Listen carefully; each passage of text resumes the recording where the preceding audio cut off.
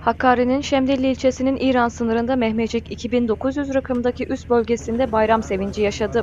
İran sınırındaki üst bölgesinde 7 gün 24 saat vatan savunması için görev yapan Mehmetçik, Kurban Bayramı sevincini ilk olarak komutanları ve silah arkadaşlarıyla paylaştı.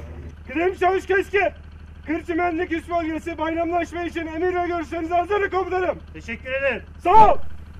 Askerler günün ilk ışığıyla üst bölgesinin kurulması sırasında teröristlerin döşediği el yapımı patlayıcının infilak etmesi sonucu şehit olan uzman çavuş Mustafa Ünal için yaptırılan şehitlik önünde toplandı. Burada görevli piyade uzman çavuş Hasan Doğan tarafından askerlere bayram hutbesi okundu. Sağ. Sağ. Uzman Çavuş Öztürk. Değerli silah arkadaşlarım. Üst bölgesinde bayram namazı kılan Mehmetçik vatanın birliği ve bütünlüğü için dua etti.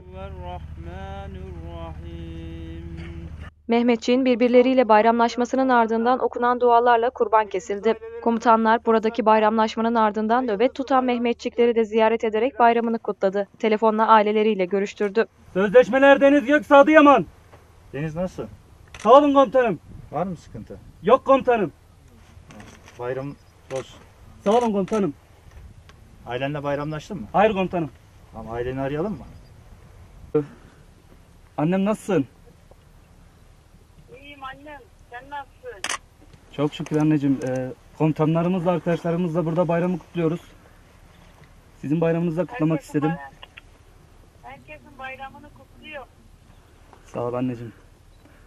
Babamın da bayramlarını kutladığımı iletirsin. Ellerinizden öpüyorum çokça. Bizden de Aa, selamlar. baban da arkadaşların herkesin bayramını kutluyormuş. Seni öpüyormuş. Bizim de Komutan, komutanlarımızın da selamı var. Anneciğim babama size. Evlerinden öpüyoruz hepsini. Çokça, çokça selamımızı söyle. Allah'a emanet ediyorum. Ey mavi göklerin beyaz ve kızıl süsü. Kız kardeşimin gelinliği şehidimin son örtüsü. Işık ışık dalga dalga bayrağım. Senin destanını okudum, senin destanını yazacağım.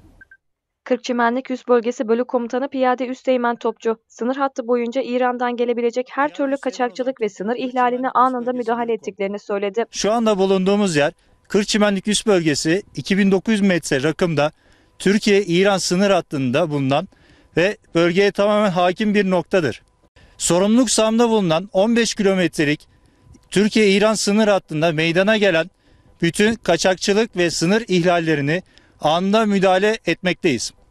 8 Mayıs 2017 tarihinde kurulan Kırçimenlik Üst Bölgesi'nde yapılan yol çalışmasıyla beraber bir ay gibi kısa sürede çalışma tamamlanıp her türlü ikmal malzemelerimizi e, karayoluyla sağlamış bulunmaktayız. Burada üst bölgemizde devletimizin bize sağlamış olduğu bütün imkanlardan yararlanarak 7 gün 24 saat esasına bağlı olarak ülkemizin bekası için bu kutsal kurban bayramında dahil daima görevimizin başındayız. İran sınırında tüm Türk milletimizi selamlar, kurban bayramlarını kutlarız.